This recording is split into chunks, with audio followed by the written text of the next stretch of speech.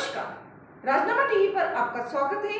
मैं प्रिया, आपके साथ। आर्थिक तंगी से जूझ रहा तालिबान अब बुद्ध की उन मूर्तियों को देखने के लिए टिकट बेच रहा है, जिन्हें 22 साल पहले तालिबानी अधिकारियों ने ही तोड़वा दिया था।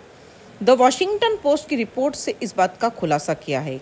बताया गया है कि अफ़गानिस्तान के बामियान इलाके में बुद्ध की मूर्तियाँ टूरिज़्म के ज़रिए कमाई का ज़रिया बन रही है।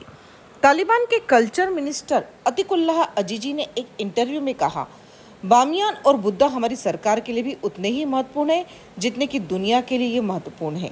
इनकी सुरक्षा के लिए एक हज़ार गार्ड नियुक्त किए गए हैं। ये इलाके में टिकट की भी निगरानी कर रहे हैं।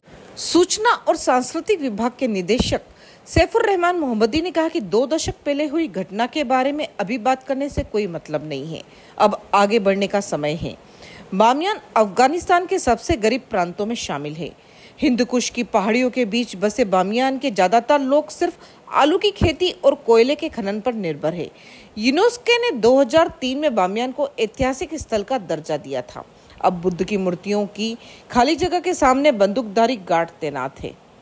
यहाँ अफगान पर्यटकों के लिए तीन रुपए और विदेशी पर्यटकों के लिए दो सौ बयासी रुपए का टिकट रखा गया है।